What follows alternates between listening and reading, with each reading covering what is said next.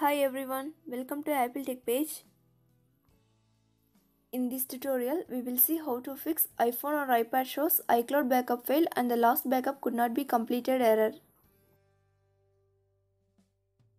Solution 1 is turn off and turn on your device.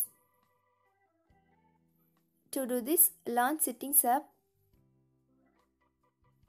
Now find and tap on General option, then select Shutdown at bottom of the screen. Next, drag the slider to turn off. Wait for a minute and turn on your device back. Solution 2 is force restart your iPhone or iPad. If you have an iPhone 8 and later models, an iPad without home button, then do the following steps. Quickly press and release the volume up button. Next, quickly press and release the volume down button. Finally, press and hold the side button until you see the Apple logo. If you have an iPhone 7 and 7 Plus, then press and hold the sleep or wake button and volume down button at the same time until the Apple logo appears. If you are using iPhone 6 and 6 Plus and iPad with home button, then do the following steps to force restart. Press and hold the home button and side button at the same time until you see the Apple logo. Solution 3 is Reset Network Settings. This process will reset APN and VPN settings, cellular settings and all Wi-Fi networks and passwords on your iPhone or iPad. First go to Settings app now tap on General option. Scroll down the screen and tap on Reset. Select Reset Network Settings and enter the passcode if you set.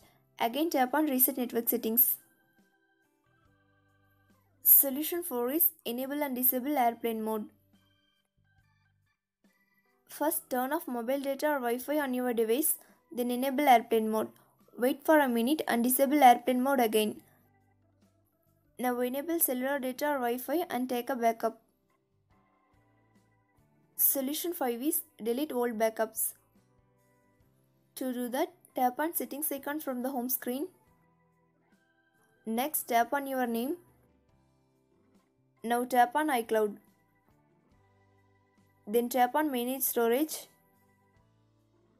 Now select backups. Here you have to select your device Now delete the old backup. Solution 6 is check for software update. Go to settings. Now tap on general option. Next tap on software update. If update is available, tap on download and install. Solution 7 is check the power source.